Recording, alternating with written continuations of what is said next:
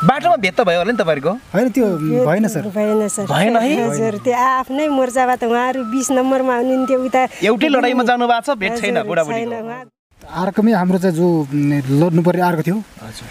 त्यहाँ गइ नपुग्दै बाटोमै हाम्रो चाहिँ अब लडाइँ सुरु भयो क्या। Christmas भयो। हजुर। हाम्रोले पनि त्यो आफ हाम्रो साइडबाटको कार्यतार काटेर त्यो कार्यतार भित्रसम्म भित्रसम्म नै पसेका थियौँ अनि हामी यता सातजनाको एउटा एसाल्तो ग्रुप गएको। अनि त्यो धमाकाले फालिसके फालिसके पछाडि म मेरो चाहिँ मेरो ग्रुपको साथीहरूसँग पनि म चाहिँ सम्पर्क बिहान भएँ। त्यस लगत्तै म अड्यारोमा होइन राइफल भिरेर म अड्यारोमै अब उसको बङ्करहरू त्यो थियो त्यहीमै अब कभर लिएर त्यहीँ सेफ भएर बस्यौँ अनि पछि त्यहाँ पनि फेरि बाँकी अर्को दुईजना साथी पनि त्यही घाइते हुनुभयो। अनि त्यस पछाडि ठ्याक्कै माथि एकदम उकालतिर पनि फाल्नु नमिल्ने होइन? यदि फालिए पनि अब आफूतिर आउने खालको चाहिँ त्यस्तो खालको चाहिँ प्रबल सम्भावना आफैमा आएर पड्किने। हजुर सर त्यस्तो। बहिनीलाई चाहिँ त्यो योगदान घाइते भएको भनिदिनु भनेर उहाँले भन्नुभएको रहेछ। त्यस पछाडि मैले दुई दिनपछि मात्रै थाहा पाएको थिएँ। त्यो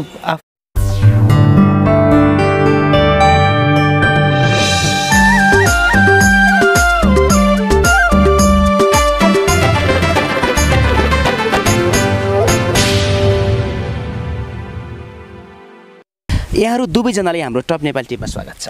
धन्यवाद सर। हजुर। सुरुमा दर्शकहरूलाई म तपाईँहरूको केही परिचयबाट सुरु गर्न मन लाग्यो सर। सरको शुभ नाम सर?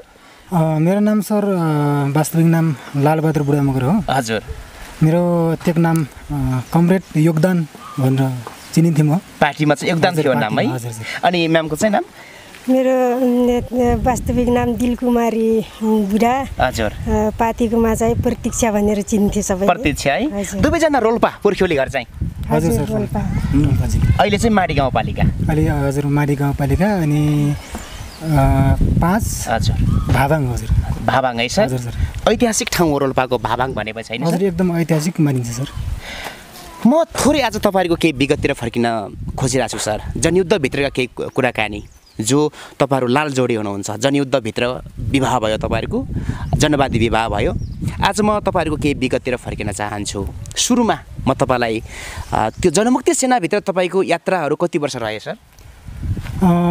करिब त मैले मेरो होल टाइमभर जीवनदेखि हजुर ब्यारेक व्यवस्थापनसम्मको चाहिँ अब अवस्था हेर्दाखेरि लगभग त्यस्तै दस बाह्र वर्षको मेरो चाहिँ यात्रा त्यहाँ। रह्यो सर कुन तहसम्म पुग्नुभयो सर अँ, हजुर म जनमुक्ति सेनाको चाहिँ यसरी सेक्सन कमान्डर। सेक्स त्यसरी प्लाटुन सह कमान्डर हजुर। अँ, देखि लिएर लास्ट पिरियडमा लास्ट अवस्थासम्म चाहिँ म प्लाटुन कमान्डरसम्मको चाहिँ मेरो भूमिका थियो प्लाटुन कमान्डरसम्म।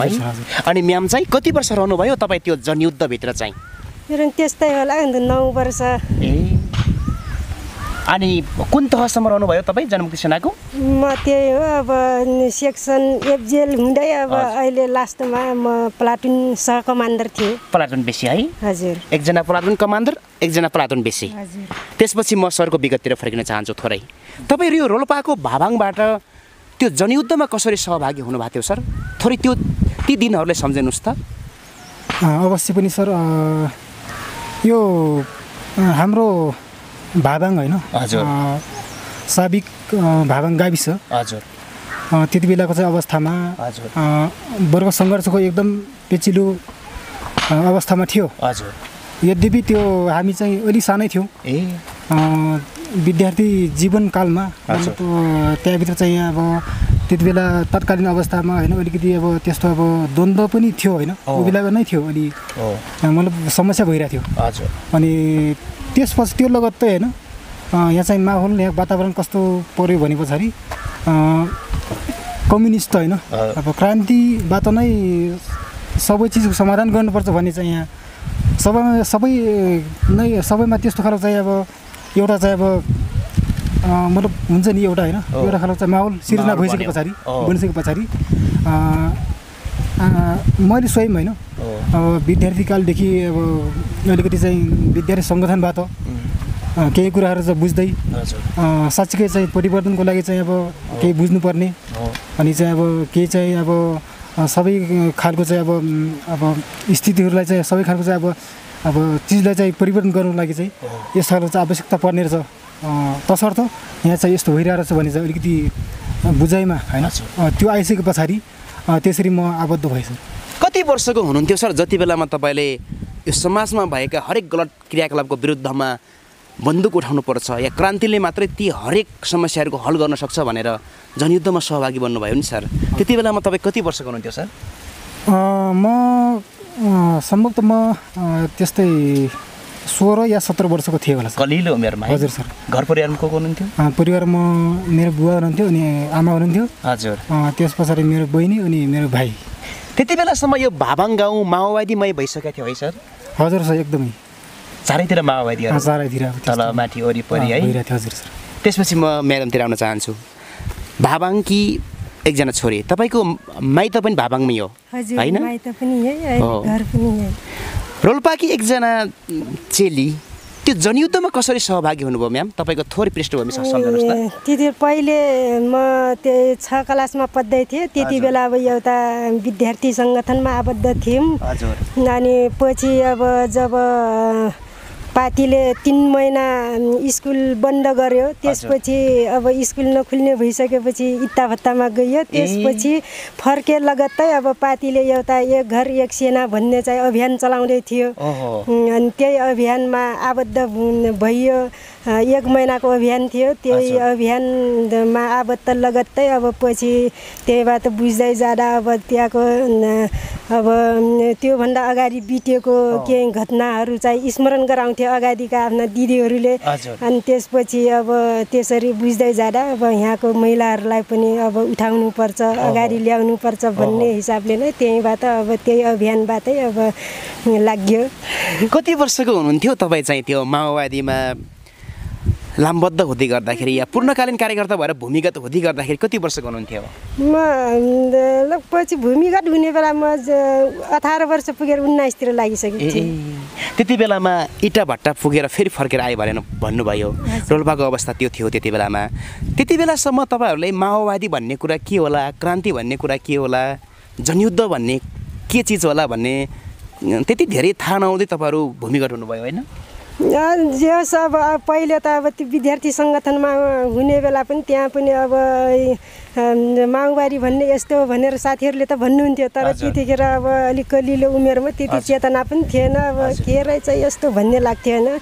पछि अब त्यही अब जतिखेर यहाँको भाबाङमा अब एक घर एक सेनाको। अभियान चल्दै थियो त्यति बेला चाहिँ बुझ्यो धेरै कुराहरू।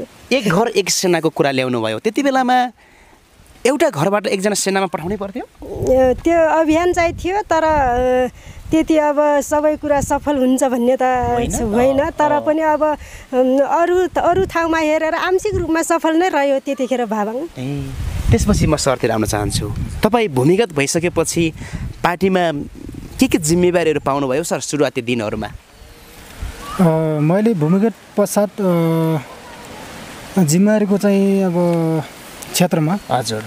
मैले चाहिँ अघि पनि भने थिएँ सरसँग। हजुर। यो प्लाटुन कमान्डरको स्टेपभन्दा पछाडि जस्तै जस सेक्सन कमान्डर सेक्सन सहायक कमान्डर। यसरी एफजिएल भन्ने अब एउटा सैन्य संरचनाको एउटा चाहिँ अब सिस्टम थियो। त्योभित्र रहेर चाहिँ मैले चाहिँ अब मेरो चाहिँ जिम्मेवारी निर्वाह गरेँ। तपाईँ सेनामै जानुभयो है? हजुर सर। घरबाट निस्केपछि सेनामै पुग्नुभयो। हजुर सर। केही समय केही कुनै अब दुई चार ठाउँमा चाहिँ मैले ट्रेनिङ गरेँ। हजुर। त्यस लगत्तै म सेनामा गएँ सर। कुन कुन जिल्लाहरूमा अलि बढी खट्नुभयो सर तपाईँ? मेरो चाहिँ कार्यक्षेत्र तत्कालीन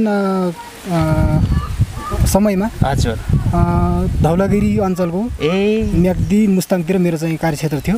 बढी। हजुर जस क्षेत्रमा मैले चाहिँ एक डेढ वर्षको मेरो क्षेत्र त्यहाँ रहेर मैले चाहिँ त्यहाँ बसेर त्यहाँ अब मेरो कार्यक्षेत्र निर्वाह गरेँ। हजुर ए। हजुर त्यसपछि म्याडम जस्तो त्यति बेलामा रोल्पा रुकुमतिर चाहिँ सांस्कृतिक माहौलले जस्तो माओवादीहरूले गाउँ गाउँमा आउने नाचगानहरू देखाउने अभिनयहरू देखाउने जसले गर्दाखेरि रोल्पाका भर्खरका किशोर किशोरीहरू चाहिँ जनयुद्धमा हाम फाल्टे भन्ने छ। ती कुराहरूले तपाईँलाई कतिको प्रभाव बनायो? ती कुराहरूले मलाई त त्यति प्रभाव पारेन सर किनभने मलाई त्यति नाचगानमा त्यति चासो पनि हुँदैन। अहिले पनि छैन। र त्यो कुराले त मलाई त्यति प्रभाव पारेन। खास गरी समाजको वस्तु स्थितिले नै तपाईँहरूले चाहिँ जनयुद्धमा हाम फाल्ने बाध्यता बनायो। हजुर। होइन? हजुर। त्यसपछि तपाईँको भूमिकाहरू के के रहे? तपाईँ सेनामै जोडिनु भयो? म सेनामै जोडिनुभन्दा अगाडि मैले यहीँ अब महिला सङ्गठनबाट गरेँ लगभग दुई ढाई वर्ष जति। अब महिला सङ्गठनमा दुई ढाई वर्ष गरिसके पश्चात म सेनामा आबद्ध भएँ। त्यसपछि हामी जनयुद्धको ती आदिमय दिनहरूतिर फर्क्यौँ। तपाईँ पनि सेनामा हुनुहुन्थ्यो उहाँ पनि सै- सैन्य फाटमै हुनुहुन्थ्यो है। कार्यक्षेत्रको हिसाबले फरक फरक ठाउँमा थियो होला। तपाईँ खास गरी चाहिँ धौलागिरी क्षेत्रतिर थिए भन्नुभयो। कार्यक्षेत्रको हिसाबले म्याम चाहिँ यही क्षेत्रतिर खट्नुभयो बढी।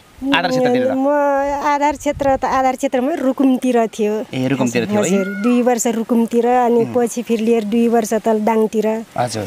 अनि त्यस पछाडि त अब कहिले प्युठान कहिले रोल्पा कहिले दाङ त्यस्तै जिगज्याङमै ए भनिन्छ त्यो जनयुद्धभित्र बन्दुक पड्काउने तालिमहरू मात्रै दिइन्थ्यो होइन? मार्ने र मर्ने कुराहरू अलिक बढी हुन्थ्यो भन्ने छ। तर जनयुद्धभित्र माया प्रेमका कुराहरू आज हामी गर्दैछौँ। त्यसपछि तपाईँहरूको भेट भइरहेको थियो सर बेला बेलामा? निश्चय पनि हाम्रो भेट समयले साथ दिएसम्म हजुर भेट हुन्थ्यो सर। हजुर त्यहाँभित्र एउटा अनुशासन हुन्थ्यो। ए। हाम्रो एउटा पार्टीको चाहिँ एउटा नियम। अनि सैन्य स- हाम्रो चाहिँ जनमुक्ति सेनाको चाहिँ अनुशासनभित्र रहेर हजुर। हाम्रो भेटघाट अनि अनिवार्य हुन्थ्यो। त्यही अनुसार हामी अहिले चाहिँ यो अवस्थामा हजुर सर त्यो जनयुद्धभित्र चाहिँ एकले अर्कालाई एउटा सिपाहीले एउटा जनसेनाले अर्को जनसेनालाई माया गर्ने कुरा प्रेम गर्छु भन्ने कुरा कतिको सहज थियो सर। त्यति बेलामा भनिन्छ जनसेनाभित्र चाहिँ निकै कडा अनुशासन हुन्थ्यो भन्ने छ है। सुरुमा तपाईँहरू मध्ये चाहिँ प्रस्ताव कसले चाहिँ राखेको त्यति बेलामा? अवश्य पनि यहाँनिर चाहिँ अ, हाम्रो हामी हाम्रो जो फर्मेसन होइन हाम्रो। सैनिक संरचनाभित्र हजुर त्यस्तो खालको चाहिँ खुल्ला प्रकारले चाहिँ त्यसरी चाहिँ अब हुरे नै थियो। मतलब अब त्यसरी अब त्यो माया प्रेमको सवालहरू होइन। त्यो चाहिँ अब जस्तै अब अ, खुल्ला सांस्कृतिक तरिकाले चाहिँ त्यो हुरे नै थियो। हजुर।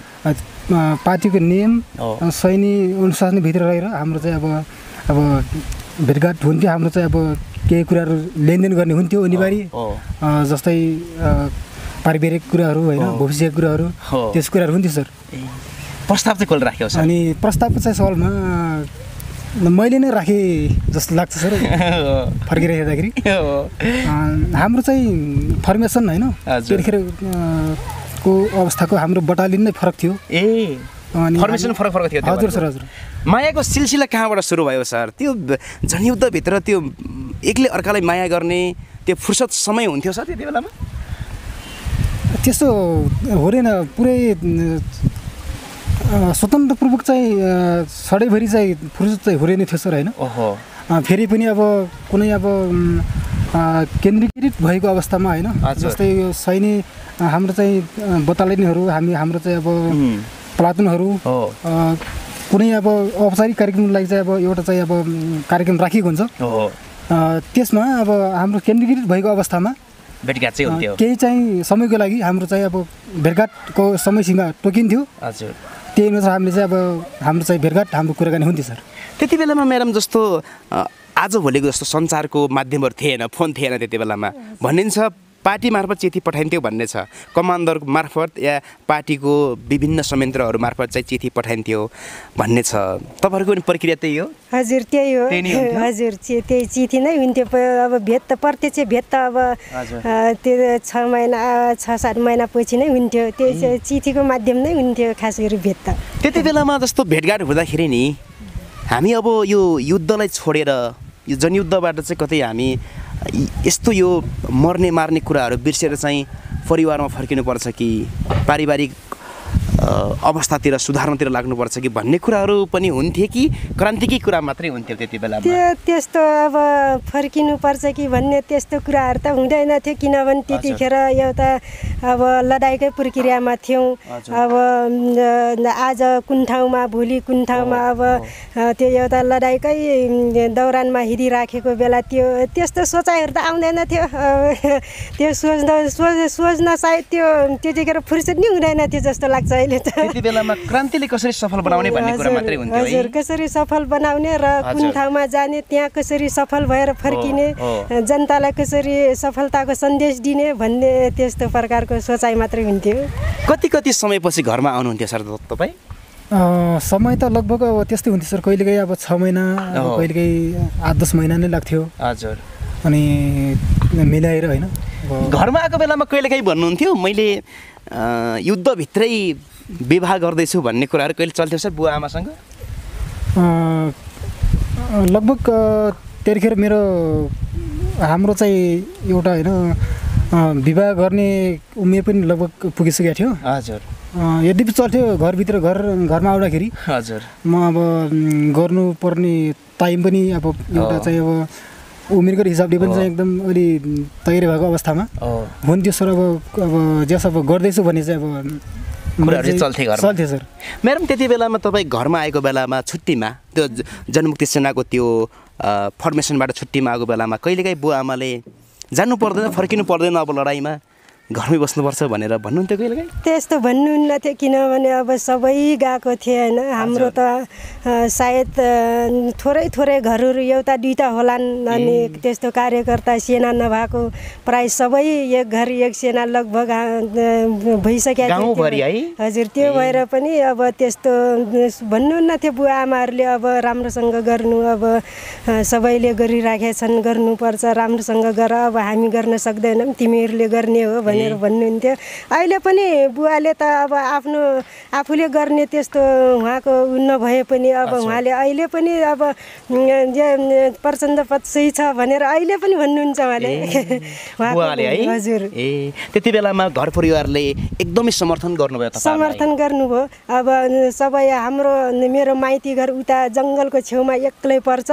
अनि हाम्रो कार्यकर्ता साथीहरू सबै त्यही अब जङ्गलको छेउमा भएको कारणले अब सबै उहाँहरू त्यहीँ हो हाम्रो बुवाकै घरमा त्यहीँ सुत्ने त्यहीँ खाने है? हजुर सबै त्यहीँ नै त्यहीँ हो पहिला। त्यसपछि तपाईँहरूको विवाह चाहिँ यो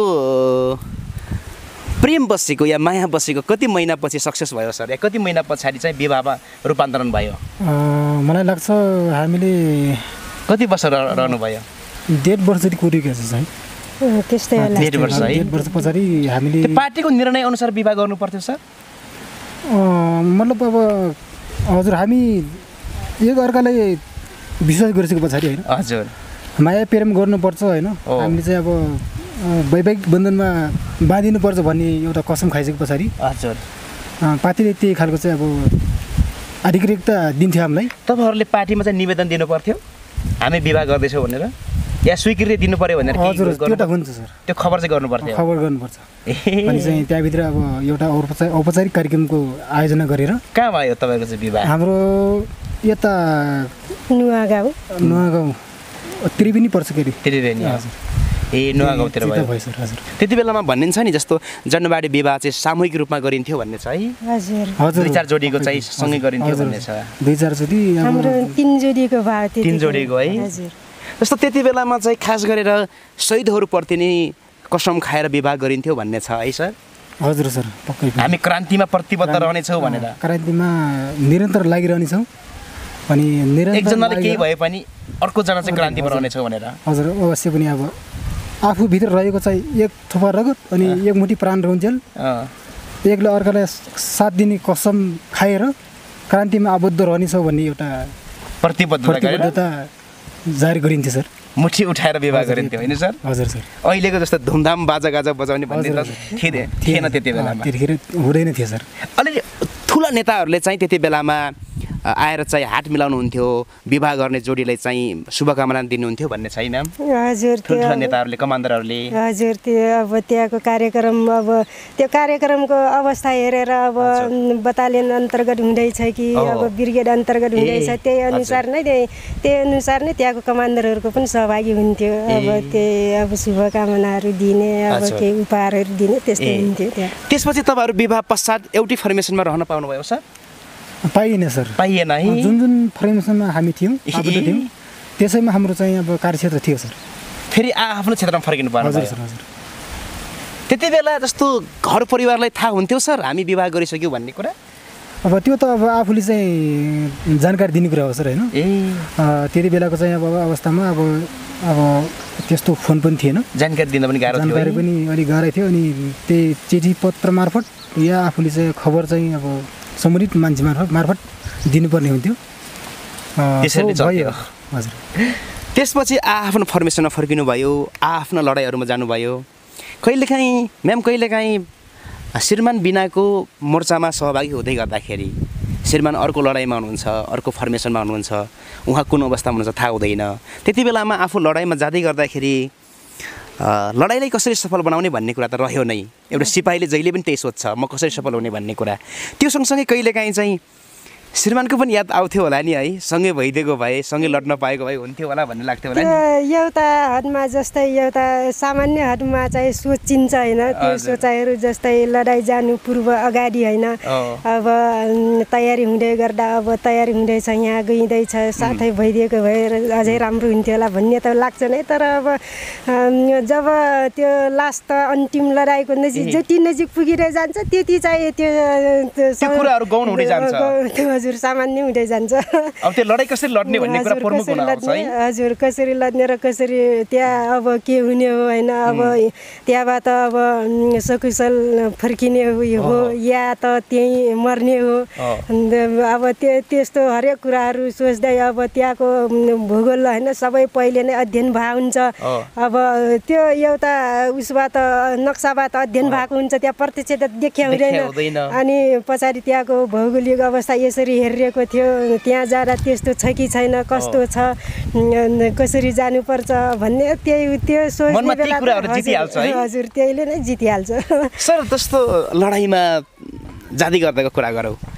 त्यति बेलामा तपाईँ लडाइँमा जाँदै गर्दाखेरि अब सुरुमा घर परिवारको यादहरू आउँछ आफन्तहरूको याद आउँछ। त्यसपछि लडाइँमा पुगिसकेपछि चाहिँ त्यो त्यो पक्ष चाहिँ अलि बिस्तारै सकिँदै जान्छ या लडाइँ कसरी जित्ने कसरी हार्ने भन्ने कुरा नै मुख्य हुन्छ भन्ने कुरा म्याडमले गर्नुभयो। कुरा त्यस्तै हो सर होइन सर? लगभग त्यस्तै हो सर। किनभने हामी निरन्तर का क्रान्तिमा होमिनुपर्छ भन्ने एउटा। प्रतिबद्धता बद्धता गरिसके पछाडि हजुर। हाम्रो जीवन त त्यही थियो। किनकि अब हुन त परिवार पनि परिवारको साथ र समर्थन बिना पनि केही हुँदैन थियो। मतलब अब हामी हाम्रो चाहिँ उद्देश्य जो छ होइन। जस्तै लडाइँमा गइरहेको छ होइन हामी अनि त्यति बेला चाहिँ अब परिवारको यादहरू आउने स्वाभाविक कुरा हुन्छ सबैलाई हामी चाहिँ एउटा मान्छेभित्र भावना हुन्छ त्यहाँभित्र सबै नातागोता नात साइनो जोडिएको हुन्छ स्वभावैले पनि अब परिवारको एउटा चाहिँ चिन्ता अवश्य हुन्छ फेरि पनि के हुन्छ भन्दाखेरि हाम्रो चाहिँ उद्देश्य फेरि. क्रान्ति नै हो. युद्ध मैदान नै हो. त्यो युद्ध मैदानमा कसरी जितेर चाहिँ आउने? त्यो पार्टीको हाम्रो जनमुख सेनाको चाहिँ अब एउटा चाहिँ अब योजना प्लानलाई कसरी सक्सेस सक्सेस पार्ने? भन्ने नै प्रधान पक्ष रहन्थ्यो सर त्यतिखेर। सर म यो लडाइँमा जाँदैछु भनेर के चिठीहरू लेखेर छोड्न मिल्थ्यो? त्यो श्रीमतीलाई? मिल्थ्यो। है? हजुर एकदम स्वतन्त्रपूर्वक त्यो मिल्थ्यो सर। कैयौँ त्यो चिठी लेखेर गएका योद्धाहरू शहीद बन्नुभयो होला है? हजुर, हजुर, चिठी। नपुग्दै है? हजुर हजुर। त्यस्ता त्यो, दिनहरू थिए त्यति बेलामा। त्यस्तो खालको चाहिँ घटनाहरू त्यस्तो। दिनहरू कैयौँ छन् सर। त्यस्तो खालको भयो। म्याडम जस्तो त्यति बेलामा सञ्चार माध्यमको सुविधा हुने कुरा त भएन फोन गर्ने भेट हुने भन्ने कुरा त भएन। त्यति बेलामा एक अर्काले जस्तो सम्झना नआउने कुरा पनि हुने भएन। एउटा सिपाहीलाई होइन? यो युद्धप्रति प्रतिबद्ध सिपाहीले घर परिवारलाई सम्झिँदैन भन्ने कुरा पनि हुँदैन। त्यति बेलामा एक अर्कालाई अ, देख्न नपाएको बेलामा या सम्झिएको अवस्थामा चाहिँ त्यो सम्झना मेटाउनको लागि के चिनोहरू पनि राखेर राख्नुहुन्थ्यो? त्यतिखेर त फोटोहरू के हुन्थ्यो? फोटोहरू त हुन्थ्यो त्यस्तो तर अहिलेको जस्तो त्यति हुन- हुँदैन कहिले त्यो सामूहिक रूपहरूमा खिचेका त्यस्तो हुन्थ्यो। हजुर डायरीहरू बोक्ने अब फुर्सुदको समयमा लेख्ने अनि त्यही। चिठीहरू अब पठाएको त्यही चिठीहरू। आएका चिठीहरू हजुर है आएको झोलामा बोकेर हिँड्नुहुन्थ्यो हजुर। सर त्यसपछि हामी थोरै मोर्चाको कुरा गरौँ। तपाईँ घाइते पनि हो सर फेरि है? हजुर म अवश्य पनि म घाइते हो सर। कुनको कुन मोर्चामा थियो सर? रुकुमको खारा मोर्चामा सर। दोस्रो खारामा है सर? हजुर दोस्रो खारामा। अ, त्यो दोस्रो खारामा तपाईँहरू दुवैजना सहभागी हुनुहुन्थ्यो भन्ने सुन्छौँ हामी हो? हजुर दुवैजना सहभागी थियो तर फरक फरक त फरक फरक फर्मेसन। भए त ए। सँगै होइन। रुकुम खारामा को लडाइँमा सँगै चाहिँ जान पाउनुभयो तर फरक फरक फरक फरक। अर्कोबाट हजुर म त यता फस्त फस्त बटालियनको पनि अब फस्त कम्पनीको एक नम्बर प्लाटुनको पनि अब यो फस्त यो साल्टोबाट गएको थिएँ। भने उहाँ उता त्यतिखेर कुनमा हुनुहुन्थ्यो? फोर्थ बिएनमा हुनुहुन्थ्यो। बिस नम्बर बटालियन हो क्या? बिस नम्बर बटालियनमा हजुर हुनुहुन्थ्यो। सर बिस नम्बर बटालियनको म सेकेन्ड एसाल्ट थियो सर। सर रुकुम खारा जाँदैछौ भन्ने कुरा दुवैजनालाई थाहा थियो? थाहा हुँदैन सर होइन? जब पुगिन्छ होइन? बाटोमा भेट त भयो होला नि तपाईँहरूको। होइन त्यो भएन सर। भएन सर। भएन है? हजुर त्यो आफ्नै मोर्चाबाट उहाँहरू बिस नम्बरमा हुनुहुन्थ्यो उता एउटै लडाइँमा जानु भएको छ भेट छैन छैन। उहाँ गुल्मी गुल्मी बागलुङतिर कार्यरत हुनुहुन्थ्यो। उहाँहरू उतैबाट आउनुभयो। हामी अब रुकुममै कार्यक्षेत्र थियो मेरो। फर्स्ट बटालियनको हामी त्यहीँबाट आइयो त्यो अब उहाँहरूको अब भौगोलिक हिसाबमै अब यति नम्बर बटालियनको यो यो यो- साइडबाट भनेर पहिले नै तोकिएको हुन्छ अनि। अलग अलग साइडबाट नै सहभागी हजुर, बेलामा योगदानजी पनि आउनु भएको छ भन्ने कुरा चाहिँ तपाईँलाई लागेको थिएन होला सायद। त्यो आउनु भएको छ होला भन्ने त लागेको थियो किनभने अब भएको भएको जति सबै अब केन्द्रित त्यही- गरेको थियो त्यहाँ हजुर केन्द्रित गरेको थियो। अब आउनु भएको छ भन्ने बरी त लागेको थियो। अब यो यस सालतमा यो ग्रुपसँग आउनु भएको छ भन्ने थाहा भएन तर आउने त अब अवश्य पनि आउनु भएको छ भन्ने लागेको थियो है। रुकुम खारालाई सम्झनुहोस् न सर। जनयुद्धभित्रको निकै चर्चित लडाइँ भनिन्छ माओवादीको जनयुद्धलाई शान्ति प्रक्रियामा अवतरण गराउने एउटा लडाइँ भनेर चिनिन्छ रुकुम खारालाई। बेला बेलामा राष्ट्रिय एवं अन्तर्राष्ट्रिय स्तरमा निकै चर्चा हुने गर्छ रुकुम खाराको लडाइँ त्यो लडाइँमा तपाईँ प्रत्यक्ष रूपमा सहभागी हुनुभएको छ। त्यो लडाइँले कसरी सम्झाउनुहुन्छ सर? त्यो लडाइँ को तयारी चाहिँ तपाईँहरूको कहाँबाट सुरु भएको थियो खासमा? अवश्य पनि यो म जुन ठाउँमा घाइ घाइते भएँ रुकुम जिल्लाको खारामा दुई हजार एकसट्ठी चैत्रको पच्चिस गते हजुर। जुन ऐतिहासिक भिरेन्त मतलब एउटा मोर्चा थियो। त्यसमा आबद्ध भएँ सर म होइन। अनि यो जन जनयुद्धकालमा अब विभिन्न ऐतिहासिक मोर्चाहरू छन्। त्यो मध्येमा खाराले पनि एउटा विशेषता बोकेको छ। मेरो चाहिँ ऐतिहासिक मेरो मेरो व्यक्तिगत मेरो भौतिक जीवनमा पनि अलिकति त्यस खालको चाहिँ अलिक तिक्तता अँ, को एउटा चाहिँ अब अवस्था थियो। किनभने म चाहिँ स्व- स्वयं घाइते भएँ त्यहाँ। त्यस पछाडि अब त्यो लगायत अन्य अन्य चाहिँ अब मोर्चाहरू मैले सम्हालेँ। हजुर। तपाईँहरू त्यहाँ धौलागिरीबाट हिँड्दै गर्दाखेरि थाहा थियो सर हामी खो रुकुम खारा आउँदैछौँ भन्ने कुरा? त्यो ठ्याक्कै थाहा हुँदैन सर होइन? जब हाम्रो लास्ट लास्ट सेल्टर भनिन्छ होइन? त्यतिखेर चाहिँ हाम्रो एउटा नक्सा अध्ययन हुन्छ। जुन लडाइँको चाहिँ एउटा तयारी हुन्छ। त्यसमा एउटा नक्सा अध्ययन दिइन्छ हामीलाई। हजुर। समाप्त एउटा भिडियो अध्ययन नै हुन्छ। हजुर। कुनै कुनै ठाउँमा चाहिँ भिडियो अध्ययन पनि अध्ययन गर्न पाइयो। खारा मोर्चामा चाहिँ हाम्रो एउटा सोही अनुसारको अध्ययन गरेर हामी चाहिँ गइरहेको थियौँ हजुर। अनुमान थिएन है सर अनुमान चाहिँ हुँदैन सर। हुँदैन है। ब्यारेकको वरिपरि पुगेपछि बल्ल थाहा पाउनुभयो तपाईँले? हजुर हजुर एकदमै। ए। जब चाहिँ निकट गइन्छ मतलब नजिक भइन्छ होइन? हजुर। त्यति बेला मात्रै थाहा हुन्छ कि म चाहिँ यो रहेछ यो ठाउँमा रहेछ हाम्रो चाहिँ भिरेन्द हाम्रो लडाइँ हाम्रो मोर्चा भन्ने चाहिँ अँ, त्यति बेला मात्र थाहा हुने हुन्छ। कति बजी पुग्नु भएको थियो तपाईँहरू रुकुम खारामा बेलुकी? अँ, लगभग साँझ त्यस्तै छ सात बजीतिर पुग्यो होला। छ साढे बजीतिर है? अनि म्यामहरू चाहिँ कति बजी आइपुग्नु भएको थियो? हाम्रो त्यहाँ चाहिँ आठ बजे हो कि त्यहाँ फर्स्ट फायर खोल्ने भन्ने। हामीहरू त लगभग त्यहाँ फर्स्ट फायर खोलिएको पन्ध्र बिस मिनट पछाडि पुग्यो। तपाईँहरू त्यही क्षेत्रमा खट्नुहुन्थ्यो हजुर? त्यही क्षेत्रमा हजुर त्यही थियो कार्यक्षेत्र त्यतिखेर हाम्रो। त्यति बेलामा तपाईँहरूलाई केही थाहा थियो? देशैभरिको जनमुक्ति सेना चाहिँ रुकुम खारामा केन्द्रित गरिएको थियो भन्ने छ। तपाईँहरूले केही सुन्नुभएको थियो? त्यो अब अब सबै शक्ति केन्द्रित नगरेर त हुँदैन। तर पहिले थाहा हुँदैन अब त्यो सबै शक्ति केन्द्रित गर्दै केन्द्रित गर्दैछ गरिँदैछ भनेर त्यो पहिले प्रचार हुँदैन। अब किनभने अब त्यो उसले उता अब आफ्नो प्रतिपक्ष थाहा भयो भने अब त्यहाँ फेरि प्लान अब सफल हुँदैन। त्यो भएर अब त्यो पहिले थाहा हुँदैन। अब जब हजुर? हजुर त्यहाँ त अब सबै सबैलाई अब आफ्नो क्षेत्रबाट नै अध्ययन त्यो नक्सा अध्ययन गराइन्छ। अनि त्यो भएर पनि त्यहाँ एकै ठाउँमा नक्सा अध्ययन हुँदैन। फरक फरक ठाउँमै आफ्नो क्षेत्रबाटै नक्सा अध्ययन गरेर लगिन्छ। त्यो भएर पनि अब सबै शक्ति केन्द्रित हुन्छ भन्ने थाहा हुन्छ। तर गरिँदैछ आउँदैछ भनेर त्यो पहिले प्रचार हुँदैन सर। सर घाइते भएको चाहिँ कति बजीतिर सर? लगभग घाइते भएको लगभग त्यस्तै नौ दस बजीतिर होला सर। कस्तो अवस्थामा थियो सर तपाईँ घाइते भएको चाहिँ? त्यो भूगोल पनि ठ्याक्कै डाँडो सर होइन। अनि चाहिँ हामी चाहिँ मुनिदेखि माथि बुझिरहेको थियौँ। अनि त्यतिखेर चाहिँ अब अब हाम्रो चाहिँ अब माथिबाट चाहिँ अब होइन तत्कालीन साई सेनाबाट हजुर। एट्टी वान चाहिँ अब प्रहार गरिसके पछाडि ए। मेरो नजिक नै विस्फोट भइसके पछाडि म चाहिँ घाइते अवस्थामा पुगेँ। यति वानको ऊ ल्याए सर धमकाले? धमाकाले। त्यस पछाडि त्यो म चाहिँ अब त्यो त्यो धमाकाले फालिस फालिसके पछाडि म मेरो चाहिँ मेरो ग्रुपको साथीहरूसँग पनि म चाहिँ सम्पूर्ण बिहान भएँ। त्यस लगत्तै म अड्यारोमा होइन राइफल भिरेर म अड्यारोमै अब यो त्यति बेलाको चाहिँ अब एउटा चाहिँ अब health post group HP group भन्ने हुन्थ्यो। हजुर।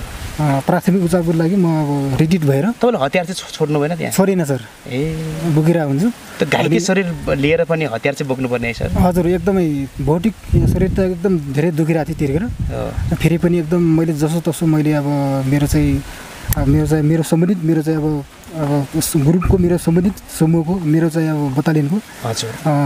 स्वास्थ्य एउटा टिमलाई मेरो चाहिँ कन्ट्याक्ट गरेर हजुर। म त्यहाँ चाहिँ अब प्राथमिक उपचार गरेँ। हजुर। त्यस पछाडि हामी रिटिन भइयो सर त्यो रुकुम खाराको भूगोल निकै अप्ठ्यारो छ भन्ने कुरा सुनिन्छ म्याम। तपाईँ फर्स्ट एसलमा लडेको एकजना सिपाही हुनुहुन्छ। तपाईँको भोगाइमा रुकुम खारा साँच्चीको अप्ठ्यारो हो भूगोलको हिसाबले? अप्ठ्यारो नै छ सर। अप्ठ्यारो छ एकदम यस्तो माथि चुचुरोमा छ अनि पुरा यसरी पुरा भिरालो एकदमै भिरालो क्या। अनि अप्ठ्यारो नै छ। जस अब त्यतिकै एउटा अब आफ्नो सामान्य तरिकाले हिँड्ने बेला त अब भूगोल यहाँ पनि हाम्रो पनि त्यस्तै त्यस्तै छ। तर अब त्यो त एउटा लडाइँको प्रक्रियामा त त्यो अप्ठ्यारो नै हो। त्यहाँ त अब आफ्नो बिस्तारै अलिकति त्यो आफ्नो उसले हिँड्ने कुरा भएन। त्यहाँ त अब उताबाट अब गोली कसरी आउँदैछ आफू कसरी सेभ हुने अब त्यो हरेक कुरालाई हेर्ने बेला भूगोल अप्ठ्यारै छ। तपाईँहरू कहाँसम्म पुग्नुभयो? त्यहाँ भनिन्छ जनमुक्ति सेनाहरू रुकुम खाराको काँडेतार छिचुलेर पनि भित्रसम्म पुगिसकेका थिए बङ्करसम्म भन्ने छ तपाईँहरूको टिम चाहिँ कहाँसम्म? हाम्रो पनि हाम्रोले पनि त्यो आफ हाम्रो साइडबाटको कार्यतार काटेर त्यो कार्यतार भित्रसम्म भित्रसम्म नै पसेका थियौँ अनि हामी यता सातजनाको एउटा एसाल्त ग्रुप गएको। अनि सातजनाको एसाल्त ग्रुप गएकोमा अब त्यहीँ जब कार्यतार काट्दै गर्दाखेरि अब दुईजना त्यहीँनिर ढल्नु भएन त्यस पछाडि बाँकी पाँचजना त्यो कार्यतार काटेर भित्र गयो अनि कार्यतार काटेर भित्रपट्टि उसको उसको चाहिँ एउटा उसको बङ्करहरू त्यो थियो त्यहीमै अब कभर लिएर त्यहीँ सेफ भएर बस्यौँ अनि पछि त्यहाँ पनि फेरि बाँकी अर्को दुईजना साथी पनि त्यही घाइते हुनुभयो अनि त्यस पछाडि तिनजना मात्रै बाँकी हजुर। तिनजना मात्रै भयो अनि त्यस पछाडि पछि त अब पछाडिबाट अब रिटिट हुने आदेश आयो होइन अनि कति बजीतिर फर्किनु भयो म्याम तपाईँहरू हामीहरू त त्यहाँबाट लगभग बिहान भएको बिहानपल्ट भन्नाले पनि तिन साढे तिन कस्तो भइरहेको थियो क्या हो? राति नै थियो त्यति बिहान त भएको थिएन। त्यति बेलासम्म तपाईँहरू त्यो कार्यतारभित्रै बसेर ल- लदिराख्नु भयो? हजुर कार्यतारभित्रै पुरा यता हाम हामी गएको सायदको त्यो नेपाली सेनाहरू सबै त्यही उसको ब्यारेकभित्र नै केन्द्रित भएर पुरा त्यो केन्द्रित भएर अनि ठ्याक्कै हामी गएको पट्टिबाट अलि चाहिँ उ रहेछ क्या? त्यो उसको सेभ हुने ठाउँ त्यति रहेनछ नि। ऊ सबै उता उतापट्टिको साइडबाट केन्द्रित थियो क्या नेपाली सेना। सब धेरै हाम्रोपट्टि त्यति थिएन। त्यति थिएन हाम्रोपट्टि अनि त्यही पनि अब पछि फेरि अब सबै त्यहाँ धेरै क्षतिहरू भएपछि अब अब फेरि बिहान उज्यालो भयो भने झन् गाह्रो हुन्छ भनेर पछि रिटिट हुने निर्देशन भयो अनि त्यो फर्स्ट एसलको दुईजना घाइते हुनुभयो दुईजना शहीद हुनुभयो। हजुर। तिनजना मात्रै सकुशल फर्किनु भयो। हजुर। सर त्यति बेलामा त्यो रुकुम खाराको म थोरै कुराकानी गर्न चाहे तपाईँ त्यो खाराको लडाइँमा प्रत्यक्ष सहभागी भएको एकजना कमान्डर। बेलुकीतिर नाइट भिजनहरूले निकै असर पार्यो भन्ने छ है सर? हजुर त्यो लडाइँ सुरु हुने बित्तिकै नाइट भिजन आयो। हजुर। आइसके पछाडि अब नाइट भिजनले गोला बारुदहरू चाहिँ फाल्ने काम धेरै गरेछ निकै असर पार्यो है। हजुर तपाईँहरू चाहिँ कुन भूगोलबाट हुनुहुन्थ्यो? हामी लगभग गेटको साइडतिरबाट हो। गेट बनाएको अलि लगभग रुकुमकोटको साइडतिरबाट उता देब्रे साइडतिर थियो। ए ए। अनि भूगोल पनि अलि चाहिँ प्रतिकूल कि? हजुर। डाँडो खालको भिरालो खालको।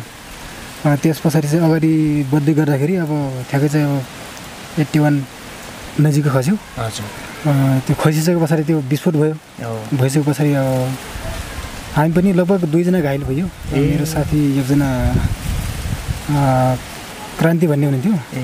उहाँको पनि उहाँ पनि घाइल हुनुभयो। त्यो एट्टी वानको धमाका निकै ठुलो हुन्छ है सर? एकदमै सर। धेरै धमाका एकदम ठुलो हुने वरिपरि पुरै तहस नहस बनाउँछ। हजुर एकदम तहस नहस बनाउने चाहिँ अब धेरै चाहिँ अब पुरै एकदम उचालेर फ्याँक्ने क्या पुरा एकदम त्यस्तो खालको चाहिँ पावर हुने चाहिँ। ए। त्यस्तो। सर रुकुम खारामा फायरिङ ओपन ओपनिङ फायर भइसके पछाडि केही मिनटमै धेरै जनमुक्ति सेनाहरू घाइते भएको भन्ने बुझिन्छ नि है। छोटो समयमै धेरै घाइते भएको भन्ने बुझिन्छ। त्यहाँ पुग्नुभन्दा पहिले नै यता बाटोमै भइसक्यो सर? ए फायर खोलिसक्यो त्यो बाटोमा। किनभने होइन? हजुर त्यहाँ गइ नपुग्दै अलिक एक्सपोज भयो होइन? आइरहेछ भन्ने पनि थाहा होला होइन? उसलाई? ए। त्यसपछि त्यहाँ अर्कोमै हाम्रो चाहिँ जो उम्, लड्नुपर्ने अर्को थियो। हजुर। त्यहाँ गइ नपुग्दै बाटोमै हाम्रो चाहिँ अब लडाइँ सुरु भयो क्या। भयो। हजुर। त्यति बेलामा भनिन्छ तलबाट फालेको गिर्नेतहरू पनि फर्केर आफैतिर आएर पड्किन्थ्यो भन्ने छ है भूगोल त्यस्तो त्यस्तो खालको छ सर एकदम अनिवार्य। किनभने अब त्यो ठ्याक्कै माथि एकदम उकालतिर पनि फाल्नु नमिल्ने होइन? यदि फालिए पनि अब आफूतिरै आउने खालको चाहिँ त्यस्तो खालको चाहिँ प्रबल सम्भावना आफैमा आएर पड्किने? हजुर सर त्यस्तो। बिहान पख फर्किँदै गर्दाखेरि को दृश्य कस्तो थियो म्याडम? लडाइँ हारेपछिको दृश्यहरू कस्तो देखिँदो रहेछ? जस्तो घाइते साथीहरूको छटपटाट है त्यति बेलामा शहीदहरूको रगत फर्किँदै गर्दाखेरि तपाईँको मनमा चाहिँ कस्तो कुराहरू खेल्यो? त्यो त्यतिखेर त अब हामीहरू त हामीलाई त अब रिटिट गराएर फेरि उतै रुकुमतिरै लग्यो। त्यो भएर त्यहाँको त्यहाँको घाइते साथीहरू चाहिँ हामीले भेट्न पाइएन। अब त्यो जति जति भए अब आफ्नै अगाडि घाइते भएको आफ्नै अगाडि ढलेको देखियो। त्यस पछाडि रिटिट भइसके पछाडि त त्यहाँको घाइतेहरू सबै अब यता यो रोल्पातिर चाहिँ ल्याइयो। त्यो भएर हामीलाई हामी फेरि उतै कार्यक्षेत्रमै गएको कारणले अब त्यहाँको घाइते साथीहरूसँग त्यति चाहिँ भलाखुसारी गर्न पाइएन। किनभने हामीलाई कार्यक्षेत्रतिरै लग्यो फेरि। त्यो भएर पनि अब जति त्यही जति देख्यो त्यही मोर्चामै देख्यो। अब लाग्छ लाग्न त अब कैयौँ साथीहरू अब घाइते भएर अब उनीहरू एकदम पुरा रगत बगिरहेको हुन्छ होइन। उनीहरू पुरा रुइराखेको अवस्था होइन। अनि कति शहीद भएर धलिराखेको अनि उनीहरूको अब उनीहरूको अब आफन्तसम्म पुग्यो भने आफन्तहरूलाई कस्तो होला भन्ने अब हरेक कुराहरू खेल्छ है मनमा? हजुर हरेक कुराहरू खेल्छ म्याडम तपाईँ त्यही लडाइँमा हुनुहुन्छ त्यही लडाइँबाट बिहान पख फर्किनु भएको छ तर त्यही लडाइँमा आफ्नो श्रीमान हुनुहुन्छ जो घाइते हुनुभएको छ। र पनि खबर छैन है। छैन। मैले त दुई तिन दिनपछि मात्रै थाहा पाएको थिएँ घाइते हुनुभएको छ भनेर। त्यो घाइते हुनुभयो भन्ने पनि थाहा भएन पहिले त। अब हामीलाई त्यहीँबाट आफ्नो क्षेत्रतिर लग्यो। अनि उहाँहरूलाई फेरि यता रोल्पातिर आएर उपचारतिर बस्नुभयो रहेछ। अनि दुई तिन दिनपछि मात्रै अब त्यहाँको उहाँकै फर्मेसनको एकजना दाई हुनुहुन्थ्यो। उहाँसँग उहाँलाई चिन्थेँ मैले उहाँले पछि चाहिँ उहाँले भन्नुभयो रहेछ अनि त्यहाँको हाम्रो त्यो फर्स्ट बिएनको एउटा ग्रुप गएको थियो। उहाँहरूसँग भेट हुनुभएको रहेछ त्यो भएर अब लाई बहिनीलाई चाहिँ त्यो योगदान घाइते भएको भनिदिनु है भनेर उहाँले भन्नुभएको रहेछ। त्यस पछाडि मैले दुई दिनपछि मात्रै थाहा पाएको थिएँ। त्यो आफ्नो जीवनसाथी जो आफ्नै जनमुक्ति सेनाभित्र हुनुहुन्छ र एउटै मोर्चामा एउटै लडाइँमा घाइते हुनु हुनुभयो अरे भन्ने कुरा सुन्दाखेरि श्रीमतीको मनमा कस्तो कुराहरू खेल्दो रहेछ म्याम? एकजना जनसेनाको मनमा है कस्तो कुराहरू त्यो त खेल्छ सर अब स्वभावैले अब किन भेट हुन पाइएन होला त्यो लडाइँमा भन्ने भयो? हजुर लाग्छ त्यस्तो लाग्छ अब पछि पनि अब त्यस्तो अब गएर हेर्न पायो एक दुई दिन हेर्न पाए पनि हुन्थ्यो भन्ने त्यस्तो महसुस हुन्थ्यो तर त्यस्तो टाइमै हुँदैन थियो होइन। अब त्यस्तो टाइम हुन्न थियो अब आफ्नो क्षेत्रमा अब कार्यरत हुने हुन्थ्यो अनि अब त्यही विचारले नै लिड गर्दै अब राम्रो भयो कुनै दिन भेटिएला भन्दै नै अब दिनहरू चाहिँ बिताउने अब आफ्नो कामहरू गर्ने त्यस्तै हुन्थ्यो। त्यसपछि तपाईँको उपचार नेपालमै सम्भव भयो सर? हजुरसम्म सामान्य हो घाइते होइन मेरो अवस्था त्यस्तो अब नाजुक अब बाहिरतिर जानुपर्ने अवस्था थिएन। हजुर। अँ, त्यसरी म मेरो चाहिँ अब उपचार नजिकै यहाँ अब सामान्य नेपालभित्रै भयो भन्नु कति महिनापछि भेट भयो त्य- त्यसपछि म्यामसँग चाहिँ? त्यस पछाडि लगभग ठ्याक्कै चाहिँ थाहा भएन बिर्सिएको अवस्था अलि टाइम अलिक पछाडि नै भयो सर। त्यसपछि रुकुम खारा पश्चात पनि यसरी नै बित्दै गए दिनहरू है? लडाइँ दिनदिनीका मोर्चाहरू दिनदिनीका बलिदानहरू। सर म शान्ति प्रक्रिया पश्चातको कुरा गर्छु। हिजो जुन सपना बोकेर तपाईँ जनयुद्धमा सहभागी हुनुभयो म्यामले जुन समाज परिवर्तनको कल्पना गरेर सानै उमेरमा मजदुरी गर्ने गाउँकी एकजना छोरी मान्छे जनयुद्धमा सहभागी हुनुभयो।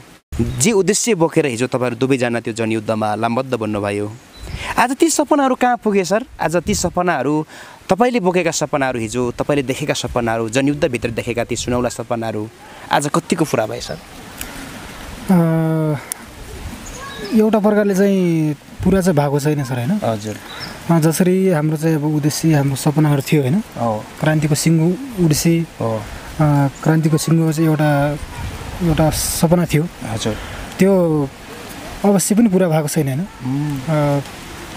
एउटा हाम्रो चाहिँ जो विगतमा हामीलाई जो जस्तो खालको चाहिँ एउटा हाम्रो हामीलाई जो शिक्षा दिइन्थ्यो हाम्रो अग्रजहरूले होइन? हो। त्यो मोटा मुताबिक चाहिँ हासिल भएको छ अवश्य छैन। त्यो मानेमा हामी दुखी दुखी छौँ होइन? हजुर। किनभने हरेक सपनाहरू बारिन्थ्यो होइन? हरेक अब कुराहरू गरिन्थ्यो। राजनीतिक सैद्धान्तिक कुराहरू चाहिँ गरिन्थ्यो। अधिकांश सपनाहरू पुरा भएन है सर? भएन। यति भएको छैन सर। ती सपनाहरू? फेरि पनि अब यो रातारात कायापलट हुने खालको चाहिँ फेरि हो त्यो पनि होइन। होइन। फेरि पनि चाहिँ यो अँ, समाजले होइन हामीले चाहिँ आशा अपेक्षा गरे अनु अनुरूप चाहिँ सफलता मतलब त्यहाँको सपना चाहिँ पुरा भएन सर। म्याम तपाईँलाई के लाग्छ? हिजो जुन सपना बोकेर तपाईँ जनयुद्धमा सहभागी हुनुभयो श्रीमान स्वयं घाइते हुनुभयो तपाईँ कैयौँ पटक लडाइँहरूमा रगत बगाउनु भयो होला पसिना बगाउनु भएको छ प्रत्येक पाइला पाइलामा बलिदान गरेर यो ठाउँसम्म आइपुग्नु भएको छ। ती सपनाहरू रोल्पाकी एकजना चेलीले देखेको सपना जो जनयुद्धमा बन्डु पुग्न गयो। ती सपनाहरू आज कहाँ छन्?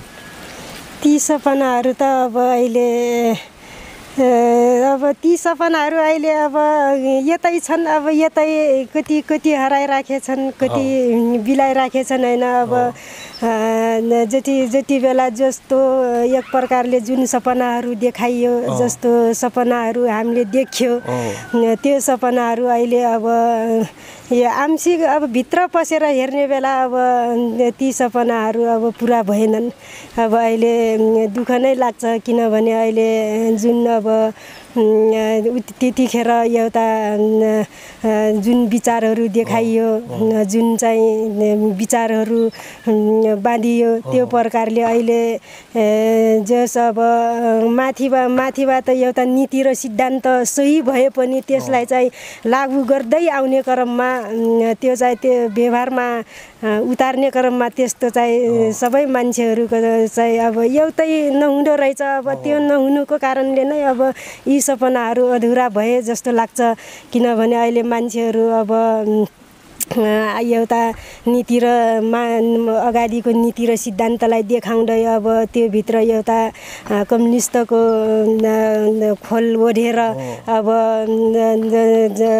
कम्युनिस्टको खोल देखाएर अब उनीहरूले जति पनि अब भित्र चाहिँ अब षड्यन्त्रहरू गर्दै अब आफ्नो एउटा समाजसेवा भन्दा पनि बढी आफ्नो स्वार्थ व्यक्तिगत स्वार्थहरूलाई बोकेर अब उनीहरूले एउटा कम्युनिस्टको खोल देखाउँदै अब आफ्नो व्यक्तिगत स्वार्थलाई पुरा गर्दै आउने क्रममा नै अब जनताले दुःख पाइयो। जनताले एउटा परिवर्तन देख्न पाइएन जस्तो लाग्छ।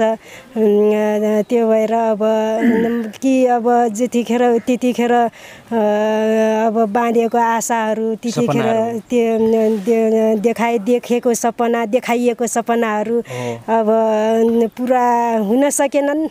अब त्यसलाई पुरा गर्न त अब त्यही हो मान्छेहरू सबै अब जहिलेसम्म यो रोल्पामा मात्रै होइन यो नेपाल नेपालमा मात्रै होइन यो सबै देशकै समस्या हो होइन। अब जहिलेसम्म मान्छेहरू एउटा आफ्नो स्वार्थको भावनाहरू त्यागेर एउटा निस्वार्थ रूपले लाग्दैनन् तबसम्म ती सपनाहरू पुरा हुन्छन् जस्तो लाग्दैन।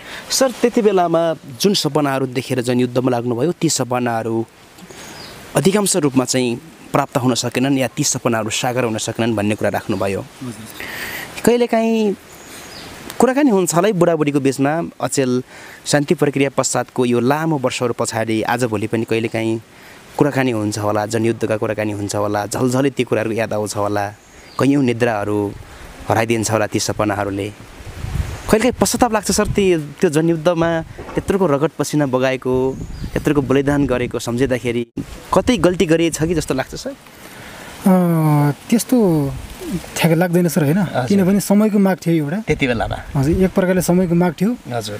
त्यही अनुसार अब जनतासँग एउटा चाहिँ अब साक्षात्कार गर्ने चाहिँ एउटा एउटा मतलब अनुभव साटासाट गर्ने खालको चाहिँ एउटा अवस- अवसर मिल्यो। हो। अँ, त्यो भन्न चाहन्छु मैले होइन? हजुर।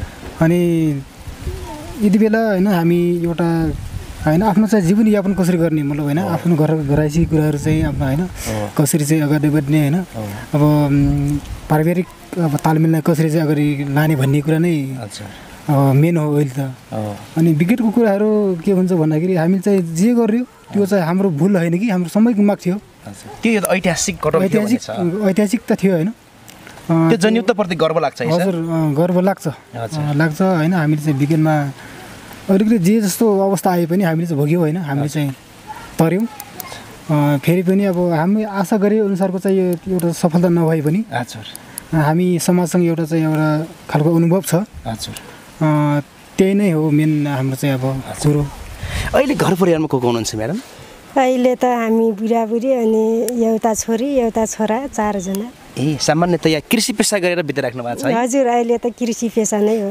कहिलेकाहीँ ती नेता कमान्डरसँग भेटघाट हुन्छ म्याम जसले हिजो तपाईँहरूलाई युद्धमा सँगै लानुहुन्थ्यो। अहिले त हुँदैन अब अहिले आफू अब आफ्नो जीवनयापनको लागि अब आफ्नो ठाउँमै सीमित होइन। उहाँहरू पनि आफ्नो ठाउँमै सीमित हुनुहुन्छ होला आफ्नो पेसामा हुनुहुन्छ होला। त्यही भएर अहिले त त्यस्तो भेटघाटको त्यति अवसरहरू हुँदैन। अब कतिपय साथीहरूसँग त हुन्छ कहिलेकाहीँ तर सबैसँग त हुँदैन। खास हिजो जनयुद्ध लडेका सिपाहीहरू या हिजो मोर्चा सम्हालेका कमान्डरहरू आज यो गाउँमा यसरी कुण्ठित भएर बस्नु भएको छ। कहिलेकाहीँ समाचारमा सुन्नुहुन्छ होला हिजोका जनयुद्धका नायकहरू कमान्डरहरू मन्त्री बन्नुभयो सांसद बन्नुभयो या ठुलो ओहडामा पुग्नु भएको छ भन्ने। सुन्दाखेरि हिजो हामीले बगाएको रगतबाट उहाँहरू त्यो ठाउँमा पुग्नु भएको छ। उहाँहरूले चाहिँ मुलुकको लागि या गरिखाने वर्गको लागि जनताको लागि केही कुराहरू गरिदिए पनि हुन्थ्यो जस्तो चाहिँ लाग्छ होला है। जनताको निम्ति काम गरिदिए हुन्थ्यो होला। समग्रमा हेर्ने बेला लाग्छ तर मैले आफ्नो व्यक्तिगत रूपमा हेर्ने बेला त लाग्दैन सर? किनभने अब अरूको आश गरेर होइन अरूको भर परेर त मान्छेले आफ्नो जीवन यापन गर्न सकिँदैन। अब कसरी हुन्छ आफ्नो जीवन यापन गर्न गर्ने के गरेर हुन्छ कसरी हुन्छ अब त्यो आफूले सोचेर अब आफ्नै उसले गर्ने हो एकजना लाल जोडी जो जनयुद्धमा सहभागी हुनुभयो बन्दुक चलाउनु भयो दस वर्षसम्म त्यो परिवर्तनको निमित्त थियो त्यो समाज रूपान्तरण गर्नेको निमित्त थियो। त्यो बन्दुक चलाइसकेपछिका दिनहरूमा जनमुक्ति सेनालाई एउटा जनसेनाको जोडीलाई चाहिँ समाजमा स्थापित हुनलाई आजको दिनसम्म आइपुग्नलाई कतिको सङ्घर्षहरू चाहिँ गर्नु परेन। त्यो सङ्घर्षहरू त अब यस्तै त्यो पछिको सङ्घर्षहरू त कति हो कति सर अब हजुर अब किनभने अब पहिले अब त्यही जनयुद्धले को त्यो जनयुद्धले गर्दा नै अब पुरा अब घरमा तहस नहस होइन सबै। अब भताभुङ्ग भएको अब सबै पुरा बिहाल अवस्थामा होइन। हजुर अनि त्यो घरहरू पुरा ढलिसकेको होइन त्यो भएर त्यो पछि त कति सङ्घर्ष गर्नु पर्यो सर पुरा त्यो त भनेर साध्य छैन। कति सङ्घर्षहरू गर्नु पर्यो अब आफ्नो घरबारीहरू लाई ठाउँमा ल्याउनको लागि उत्तिकै सङ्घर्ष गर्नु पर्यो। त्यस पछाडि अब अब आएर फेरि अब आफ्नो भविष्यको लागि के गर्ने होइन अहिले त्यो छ। अब त- सङ्घर्षहरू त कति धेरै गरियो सर सायद त्यो जनयुद्धकालमा पनि त्यति गरिएन होला जस्तो लाग्छ। त्योभन्दा पछाडि शान्ति पिरियडमा गरियो। हजुर। अहिले शान्ति प्रक्रिया पश्चात राजनीतिमा सक्रिय हुनुहुन्छ सर? म छैन सर। सक्रिय छैन। म चाहिँ अब आफ्नो चाहिँ अब हिसाबबाट होइन आफ्नो दृष्टिकोणबाट व्यक्तिगत जीवनतिर फर्किनु भएको छ है? व्यक्तिगत जीवनमै छु म होइन। अब त्यसरी चाहिँ सक्रिय रूपमा म छैन। यद्यपि म फेरि यो, समर्थन गर्छु फेरि होइन। अब आफ्नो समर्थन विचार गर्नुहुन्छ। चाहिँ आफ्नो आस्थालाई म समर्थन गर्छु। फिल्डमै त्यसरी- चाहिँ गर्नु भएको छैन हस् आज महत्त्वपूर्ण कुराकानी गऱ्यौँ हामी दुवैजनाको विगततिर फर्किने प्रयास गऱ्यौँ। जनयुद्धलाई एकपटक निहाल्ने प्रयास गऱ्यौँ। तपाईँहरूको बाँकी समय बाँकी उमेर सुखमय तरिकाले बितोस्। राम्रोसँग जिन्दगी बिताउनु होला तपाईँ आफै पनि घाइते हुनुहुन्छ। शुभकामना तपाईँहरूलाई बाँकी जिन्दगीको। धन्यवाद सर।